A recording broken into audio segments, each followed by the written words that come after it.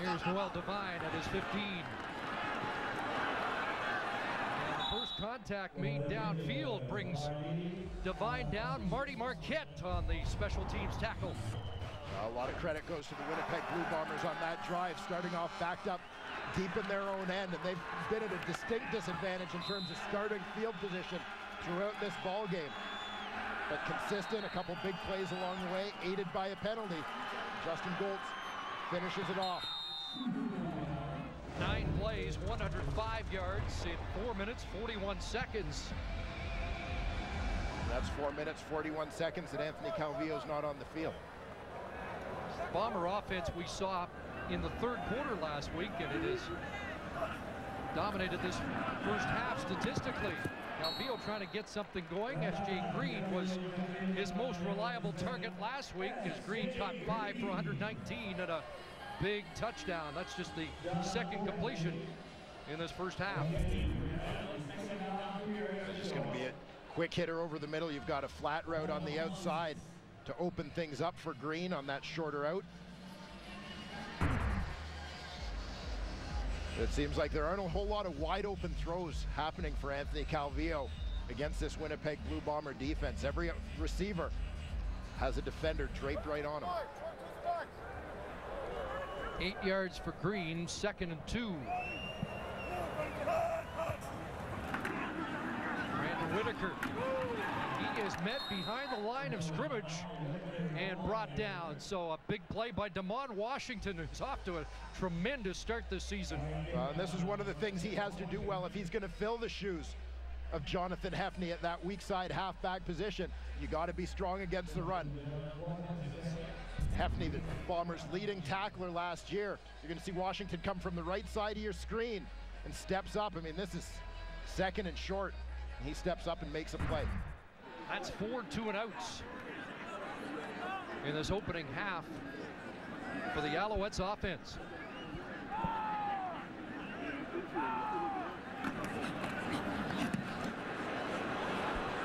Short kick by Whyte.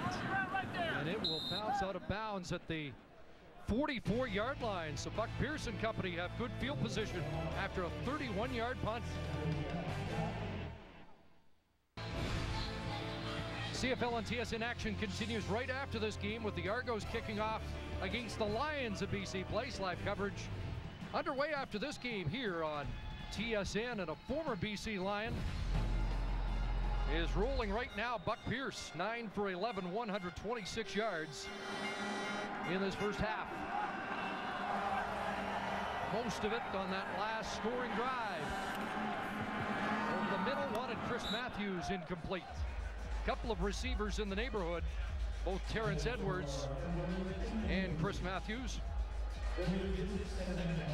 Chris Matthews, the league's rookie of the year last season, coming off a ankle injury in week one, slowed by that a little bit.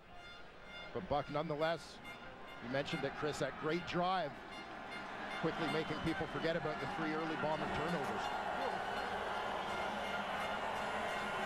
Second and 10. Alouettes showing blitz. Here they come. McKinnon got away, and a catch is made, and a first down grab as Buck Pierce was knocked down, but Rory Kohlert has his first catch of the year.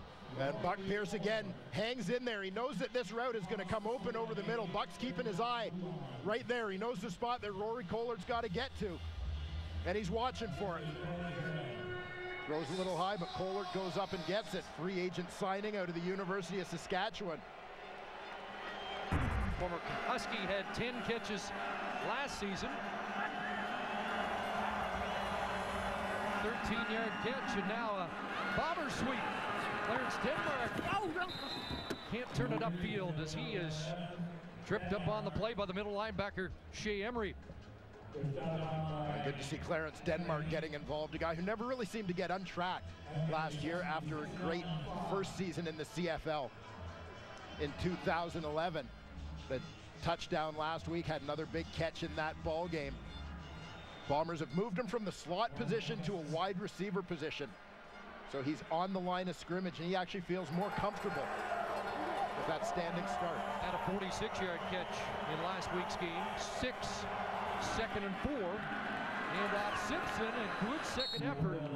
And lunging towards the first down stick at around the 43. And the spot will determine whether or not those chains are moving. But Chad Simpson, who left with what appeared to be an early ankle injury, looks like he's doing just fine right now. Chris Matthews provides a lead block. It's one-on-one -on -one in the hole. Nice move on Geoff Tisdale there to pick up a few extra yards. So about a length of the football short of the first down. And Tim Burke will leave the offense out.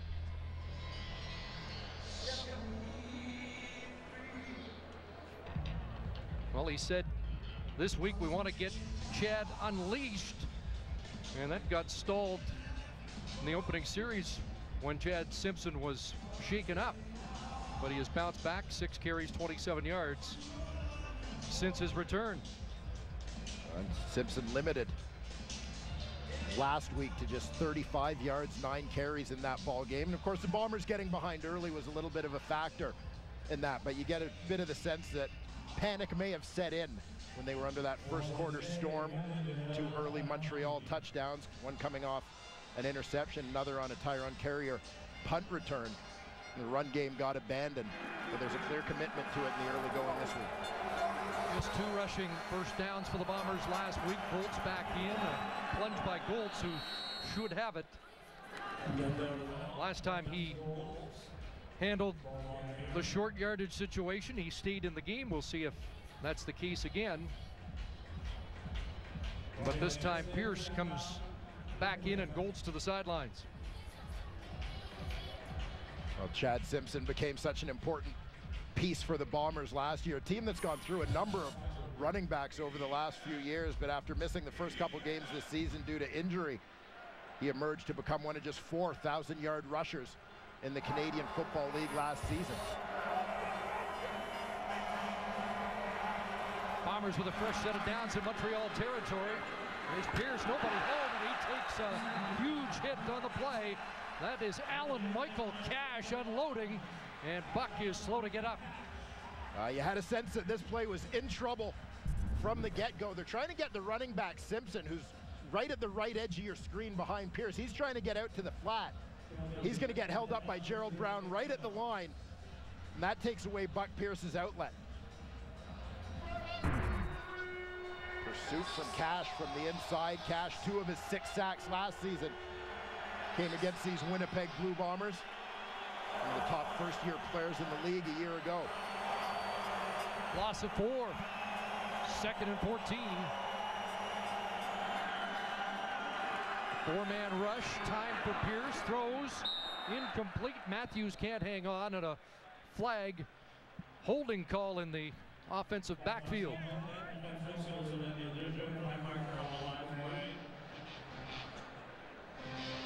Shea Emery, the middle linebacker, coming on the blitz, held up on the play.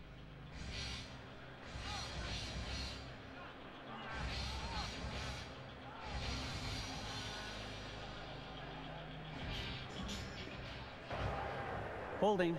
Winnipeg number five. A penalty is declined. Third down. So we've seen the Winnipeg running backs a couple of times. As Shea Emery right up, mugged in the line of scrimmage. He's coming on the plate. Now Chad Simpson can help himself here if he steps up even a little bit more, takes Shea Emery a little bit closer to the hole where he's got less space to move around him. So Mike Renaud is on to punt, and he'll be looking for the corner. That one will bounce down and into the end zone. And Devine will put down a knee and give the Bombers another point. The Rouge makes it 8-3.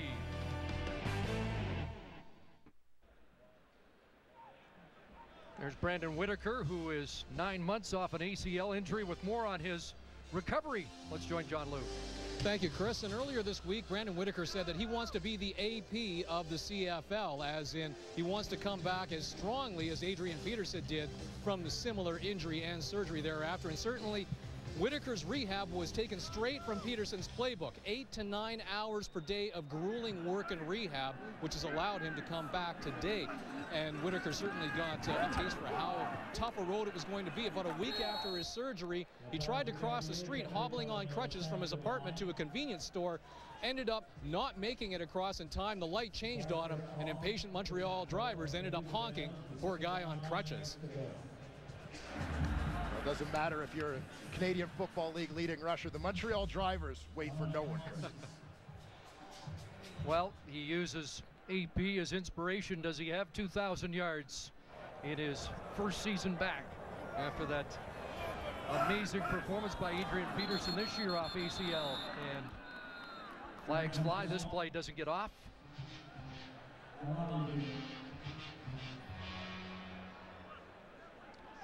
This is not what we've come to expect at home from Montreal. Offside.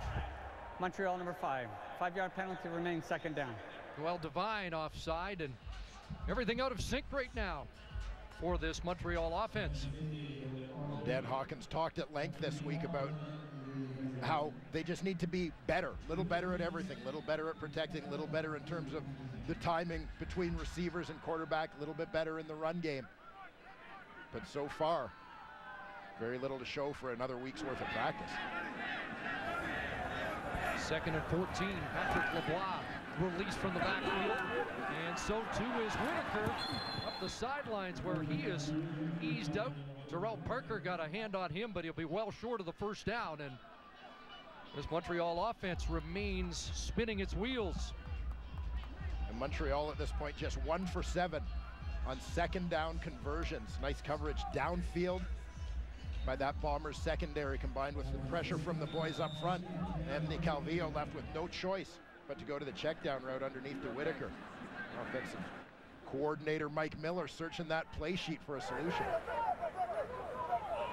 Demond Washington, who had the punt return touchdown last week, is back. His first of this game at the 22-yard line, flagged down as he is dropped at the 30-yard line. 46-yard punt by Sean Whyte. Washington, an 80-yard punt return touchdown that uh, made the highlight reels last week. Had an 82-yarder last year against Montreal. It was his third career punt return touchdown in the CFL. No yards. Montreal number 17. 15-yard penalty. First down Winnipeg. So a 15-yard penalty against Billy Parker. Well, Demond Washington, one of the bright spots on defense, special teams for Winnipeg, one of the bright spots offensively. Jade Etienne, the third-year man, number four overall pick in the 2011 CFL draft. Slow to develop. Some people starting to question that pick as he had just one catch for 11 yards through his first two years. Came up with one of the biggest offensive plays of the game for the Bombers last week. Finishing up with three catches, 80 plus yards on the day. People frequently forget that uh, this young man, just 23 years old in his third year in the league, he was one of the youngest players in that 2011 draft class. So patience was important. It looks like here in year three, it's starting to pay some dividends for Joe Mack and the Bombers. Bombers were just about ready to go on offense, and uh, Mike Edem took a knee. Training staff came out, Edem to the sidelines, and Marc-Olivier Brouillette comes in at safety for the rookie. Will Ford trying the right side. Alan Michael Cash was there. Shea Emery on the scene. Oh, Mike Edem, the rookie going to the sidelines, but he's already had an impact on this ball game. A sack, followed by a fumble recovery in the first possession. Number three overall pick in this year's CFL draft. Had an interception against Winnipeg last week. We see the sack and the fumble recovery this week. You're wondering if the Bombers might be wishing that they hadn't passed on this guy with the number two pick. He has to sit out three plays. Second and 13. Pierce stepping up and going down. Buck Pierce taken down by Michael Klassen. Mike Klassen, another University of Calgary product, drafted by the Alouettes this season, as was Mike Edem. You see the top five picks in this year's CFL draft. Mike, Mike Edem, Stephen Lambala, teammates at the University of Calgary, both selected by Montreal. Andy Mulumba, the number two overall pick out of Eastern Michigan. Currently with the Green Bay Packers. A little worried if he shows up, Balumba and a couple of Muambas. Play-by-play man's worst nightmare. Great kick, drives Devine back inside his 25, but he's explosive. Noel Devine on the return, and he'll get dragged down across the 40-yard line. Good contain there by Michel Pierre Pontbriand. 55-yard punt, 17 on the return. And this is as quiet a half as we may have ever seen out of Anthony Calvillo as an Alouette starter. That sure is under 50% completion for a guy who had his best game of the season in week two against the Winnipeg Blue Bombers last year, over 400 yards, completing 75% of his passes in that ball game. AC a career 28 and 12 record against Winnipeg.